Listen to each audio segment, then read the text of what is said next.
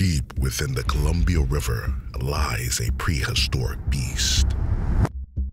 Many have come to test the power of these freshwater behemoths.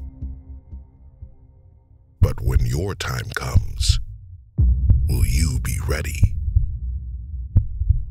Or will you break your back?